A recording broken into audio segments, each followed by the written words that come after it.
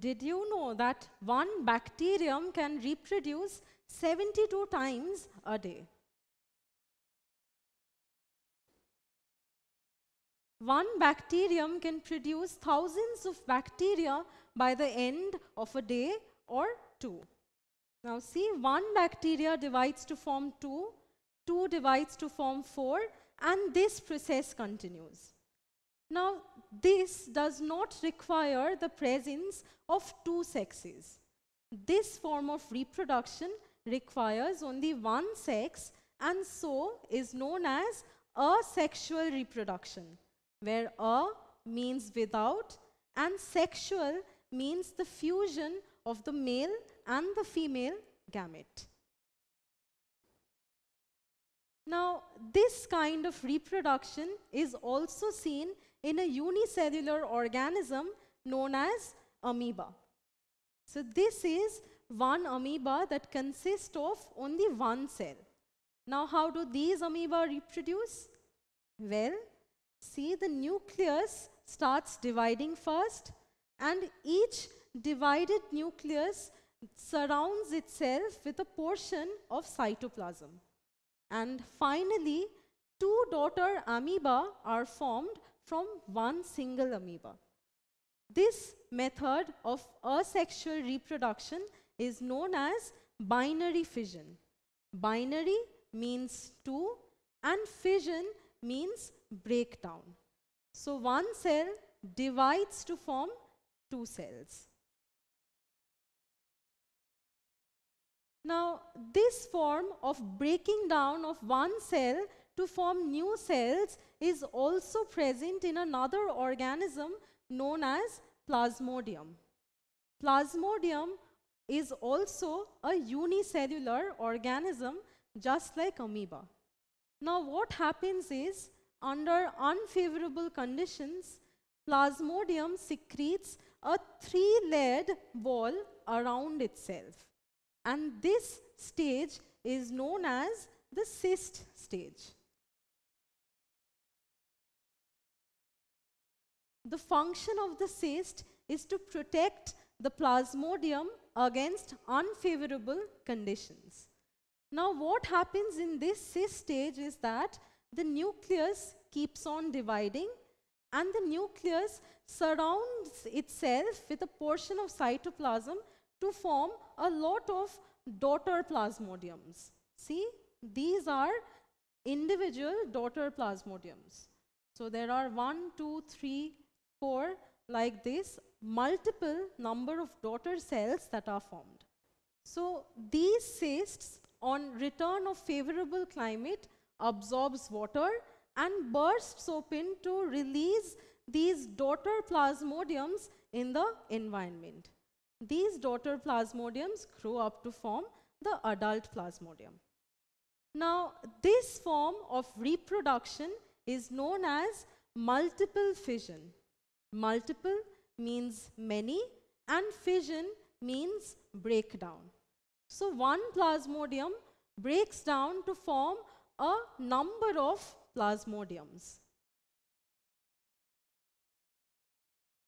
Now, just like the plasmodium had secreted a cyst around itself during unfavorable conditions, similarly, fungus such as rhizopus which is a kind of a bread mold, also develops spore-like structures, these beaded structures that you can see, during unfavorable conditions. These spores that you can see are enclosed in this sac-like structure which is known as the sporangium.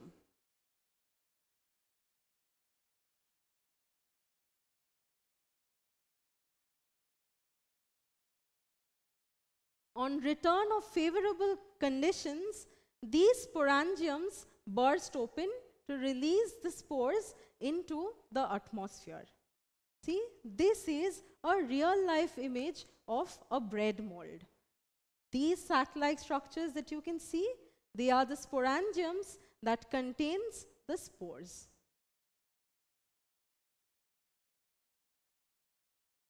Now, look at this living organism. This organism is known as Spirogyra.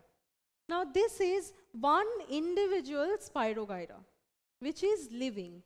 Now if for any reason it gets bisected into two parts, then the organism does not die.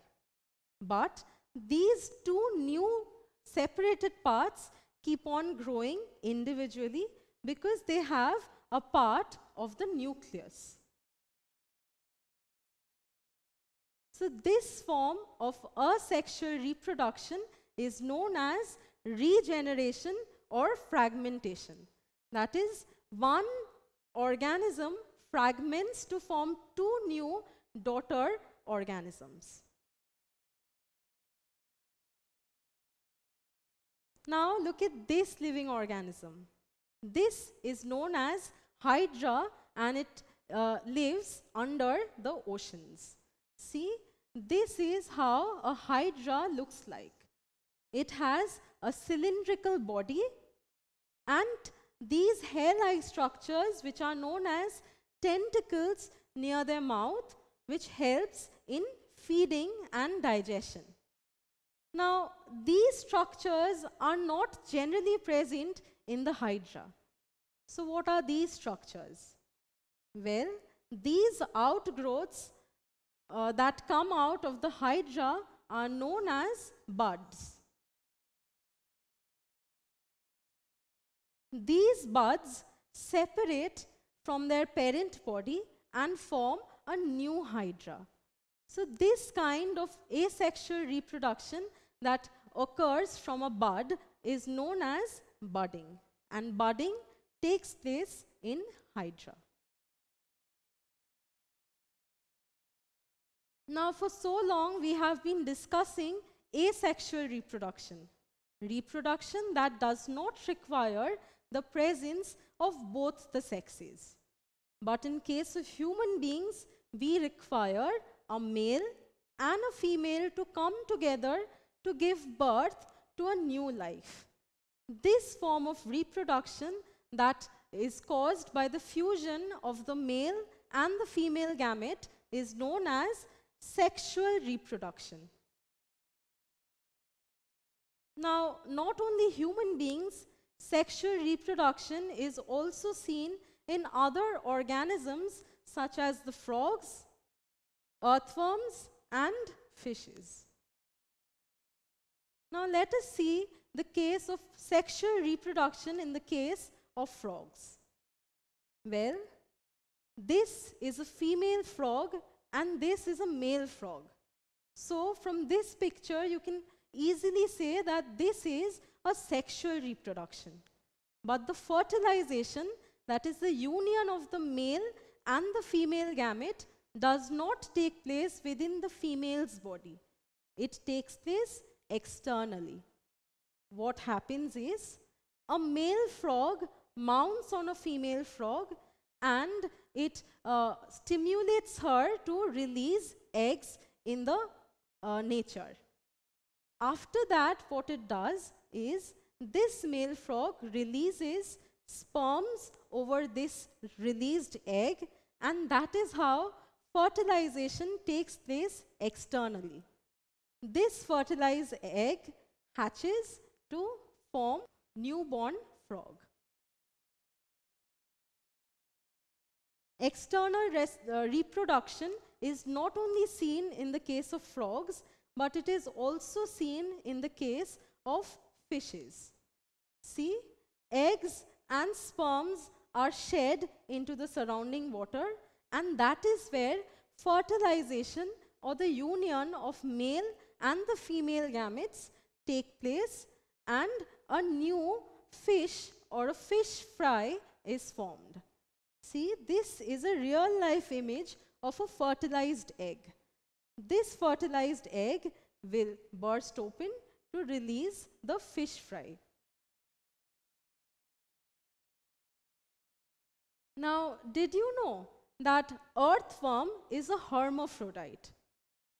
What do you mean by a hermaphrodite? Well, both the female and the male reproductive parts are present in the same worm. Yes, it is true. see male reproductive organs such as seminal vesicles, spermathecae, testes, and vas deferens are present along with female reproductive parts such as ovary and oviduct. All these parts are present in a single worm. Now for reproduction to take place, two worms are required. They align themselves in such a way that 9 to 11 segment of one worm, that is this, 9 to 11th segment becomes opposed to the clitellum of the other worm. Yes, this protruded part that you can see is known as the clitellum. Now what happens is, in this position, when the worms move back and forth, the female genital apertures that is present over here releases egg into the clitellum and the spermathecae releases sperms into these uh, female eggs or the female reproductive cells and that is how a new worm is formed. Now this kind of sexual reproduction is known as copulation. So you've seen that all living organisms reproduce either sexually, that is the presence of both the partners, and asexually, that does not require the presence of both the sexes.